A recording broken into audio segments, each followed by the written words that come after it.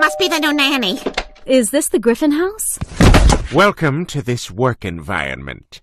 I can't tell if they have a really good marriage or a really bad one. I feel like it's weird but strong, like Danny Trejo. Hmm. Thank you for noticing.